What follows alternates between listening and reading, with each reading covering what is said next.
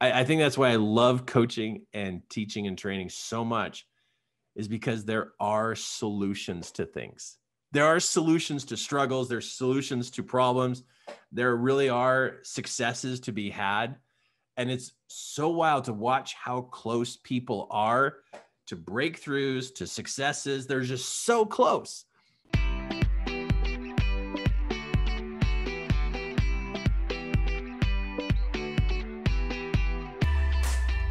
So the secret I want to give you is this is that the more you listen to what people are going through, their wins and their fails, the more you listen, you learn about one person's wins and fails, which then the next person you talk to you find out that the first person you talked to actually helped you dial in to the wins and the failures.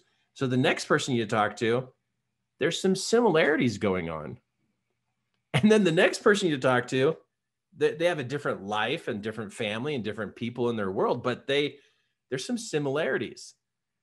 And so I find that the better I listen to what's going on, the more I am in on what's going on. I don't know how to, it's just interesting. It's like, it's like us as people are traveling through phases all together and we're all having different experiences, but they're, the struggles are similar and they shift and they move uh, together with us. And so, I don't know if I'm explaining this well, but it's very interesting. So I I've learned over the years is pay attention not only in your coaching and mentoring appointments and not just to your kids and your friends, but notice how you could go to some some families uh, dinner and then you can hear things going on there and then you have clients and then you have kids and then you have a spouse and then you got friends and it's like wait a minute there's some similarities of things that are going on. So my my tip to you or my my suggestion to you is when somebody's sharing a success story ask them how they got the success. Because you they usually talk about the success. Ask them how did you get that success? And then if somebody's sharing a struggle ask them what they think added up to create that struggle. So the more you know how somebody's success happened and how somebody's struggle happened, the more you're going to be ready and in tune to the next person. And then because you know those two people's experiences, it helps you with the next person. And then it just adds and adds and adds and adds. So i i think it's super cool to see some common threads amongst us as people. It makes coaching and teaching less stressful because you don't need crazy way different answers for different people. There are common answers that help in so many different ways because we're all people. Okay, now I'm starting to get way off in the deep end here, but I think this is making sense.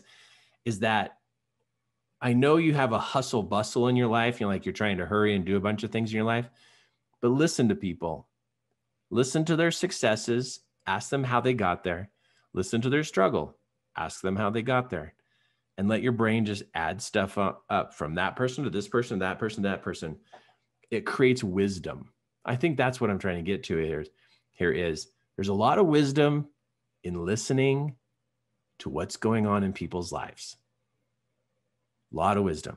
And I always, always, always like to ask, so what do you think you're going to do to fix this? It's just so interesting. And, but I, I've just, there's been about five or six things that have happened in the last four days that were people that were completely different. They don't even know each other, but yet they pretty much all said the same thing. And it's like, what? so crazy. but it's so cool to see how us as people are so connected. I, I think that's why I love coaching and teaching and training so much, is because there are solutions to things. There are solutions to struggles, there's solutions to problems. There really are successes to be had.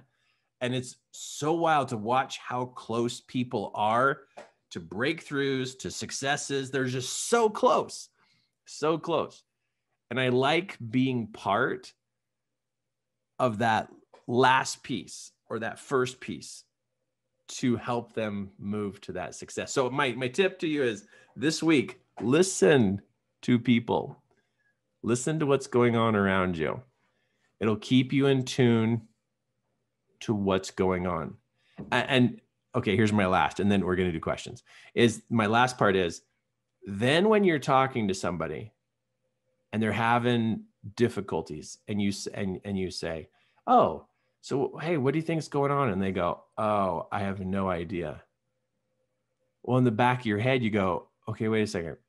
I've talked to five people so far. I wonder if it's one of those five that could be their struggle. So then you can lay out on the table, hey, is it this? Could you be having this struggle? And the person will usually say, whoa, yeah, that's kind of like that. You're like, wait, wait, let me give you one more example and then you pull from somebody else's life and you go but you never say these other people's names you just share the struggle and you go oh could you be struggling with this and the person's like whoa yeah that's getting super close and it's like wait a minute i don't even have to come up with this stuff i just pull from what i heard somebody else struggling with and somebody else let me try one more and you try one more and then this person who was confused and they had no idea what their challenge was you were able to call out what the challenge was. And they're like, How did you know this stuff? And here you were listening to others. My struggle is your struggle. Your struggle is my struggle. I really believe there's like this list of struggles, and we've all got them. We just take different turns of being in different ones. And so if we figure out how to get through those struggles, well, when that struggle cycles back around, well, we could just work on that one again. Or somebody else, it's like, oh, you're in that struggle. Oh, that's number seven or number nine. Oh, I can help you with that one. And it's it's so wild. There's like this list. And you listen to people, and it comes down to this like list. And and it makes coaching and training fun because you know you can help them because you're listening and and you and you get it okay i gotta leave that i'm gonna leave that right there. So the part is just listen to the people around you. If somebody brings up a struggle don't roll your eyes and check out. Tune in. Somebody shares a success story don't roll your eyes and check out. Like really tune in. Like you got a success? How'd you do that? How'd you get to that point? Because that information helps you with the next person. And that person's struggle helps you with the next person. It just adds, it all adds together. It's so good.